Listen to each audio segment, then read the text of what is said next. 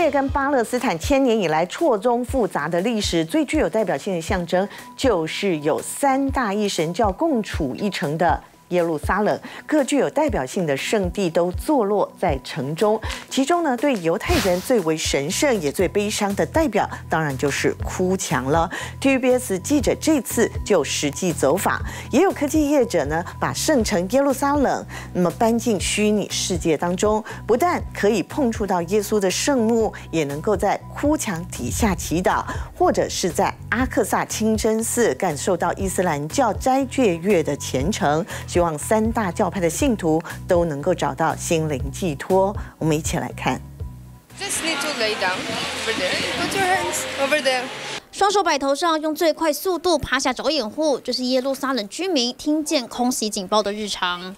It's better to stay inside and not be next to the cars and something like this. It's we're supposed not to be inside bars or sink in the windows, stuff like this. 尽管耶路撒冷是犹太教、基督教和伊斯兰教三大宗教的圣城，却同样面临着空袭威胁。这因为是旧城，充满古迹，不是每一间房子都能够往下挖防空洞设备。不少人遇上空袭警报，只能逃到公共区域的防空洞，或者就地趴下掩护自己。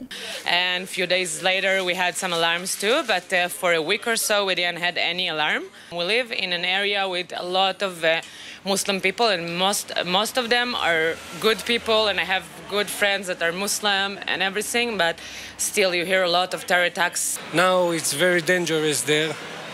They, the country take us and give us to in hotel in all the country because they've there a lot of bombs.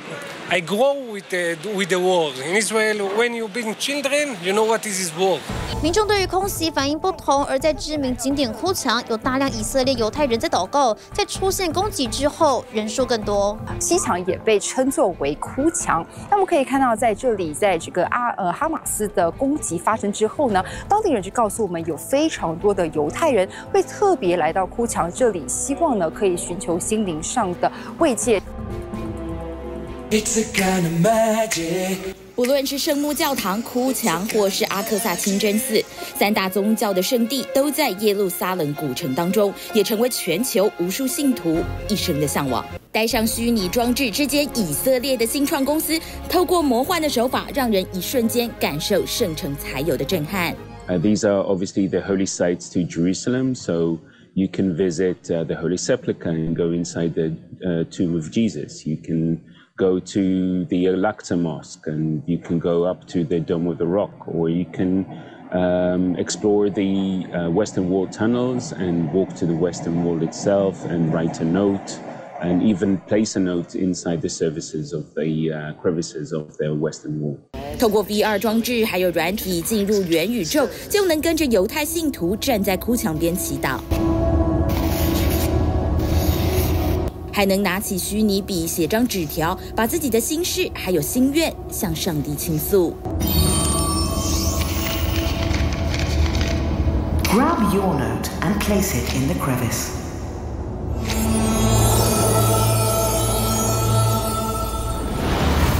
也能走进一往人山人海的圣母教堂，看看耶稣被钉上十字架的地方，甚至可以伸手触摸耶稣的圣墓，或是在阿萨克清真寺感受伊斯兰教斋戒月的虔诚，跟着无数的信徒一起朝麦加的方向跪拜。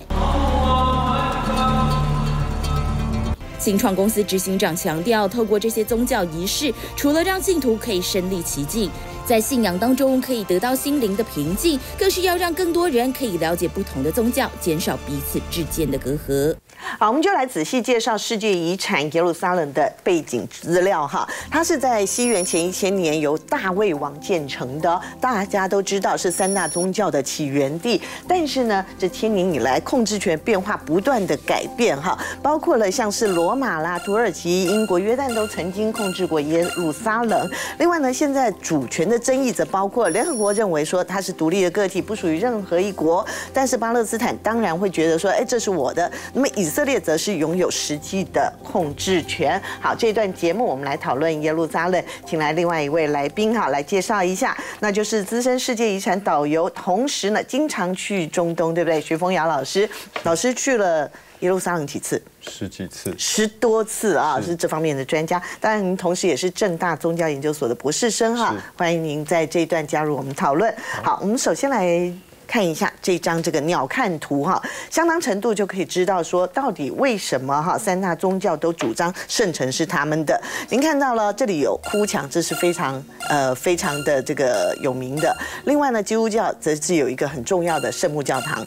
那么在伊斯兰教则是有圆顶清真寺跟阿克萨清真寺哈。阿克萨清真寺我们等一下会详细来介绍。我们先来看到的就是哭墙哈。其实我们刚刚也看到了，这次刘婷婷也走访了哭墙，对不对？哭墙呢，又称为西墙了哈，是在西元前十九年到一世纪的时候建的，古代犹太人第二圣殿的一个遗址了哈。实际上，圣殿的被建立哦，其实可以跟着犹太人的王权的建立是同时搭在一起的。所谓扫罗、大卫、所罗门，实际上就是耶路撒冷这个城市慢慢的从建成到建圣殿这样的一个一个历史过程。实际上，哭墙的部分大概是这个样子哦，哭墙呃。我们先把它具体性的讲一下。你可以，如果你有那个全照图，你可以看得出来，呃，第二圣殿的哭墙的石砖在下面，嗯，上面的是鄂图曼土耳其苏莱曼时代的所谓的哭墙的石砖，它那个石头的大小是不一样的。哦，对于右，我们又可以再切割一下，右边的哭墙是所谓的女性她礼拜的空间，左边的那个哭墙是一个男性礼拜的空间。哦，所以当我们进入到哭墙的时候，对于我们非犹太教徒来说，我们是进入到神圣空间了。嗯，所以呢，当我们进入到哭墙的时候，男生都必须要戴那个 kipa 帽，白色的那个帽子。他们常常说一句话，就是头顶天呐，人是人呐，人是不可能头顶天的。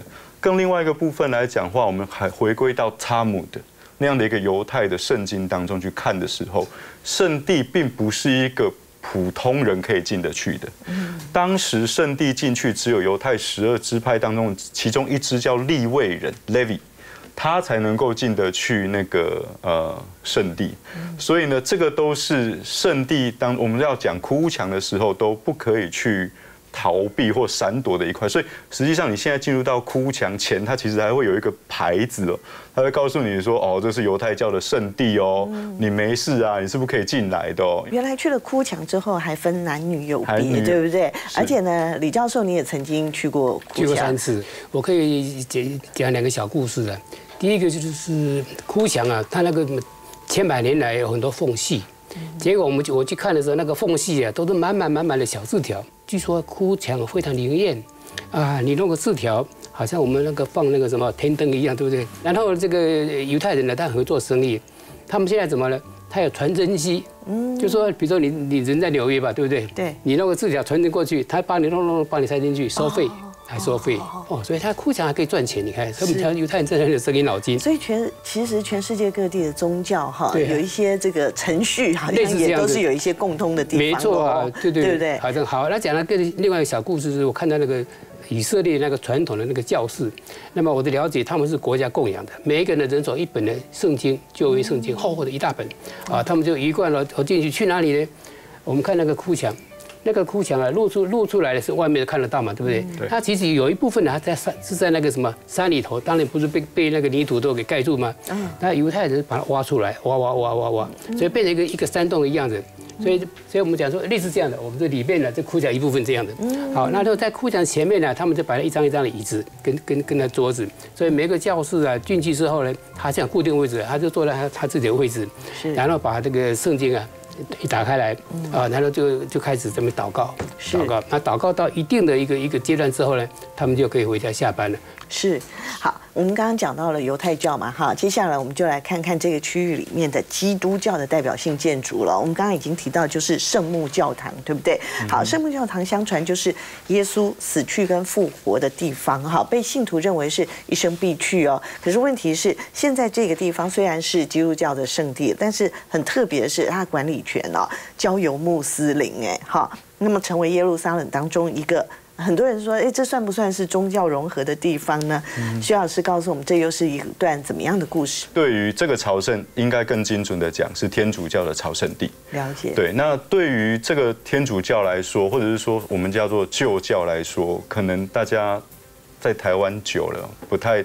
没有太听过那些教派，什么亚美尼亚使徒教会啊，然后叙利亚正教会啊，科普特教会啊，希腊正教会啊，天主教，然后呢，还有一个更奇特的是伊索比亚教会。所以对于这其实是一个宗教史，就是基督耶稣在复活之后，基督教是一个没有核心的状态，所以各自大家各自发展，所以呢都必须回到所谓的圣地当中去插旗啊。所以呢，呃，我常常跟我的团员们讲一个笑话，就是你去看一下现在圣母教会的那个大门口，那个上面的窗户啊，有一有一把梯子，那把梯子是因为工人修窗户就忘记拿下来，然后他就拿不下来了，因为六个教派啊会有各自不同的解读，所以呢就会打起来。然后不要再想再再想另外一件事情哦，这这个这个这个圣母教会就这么小，六个教派有。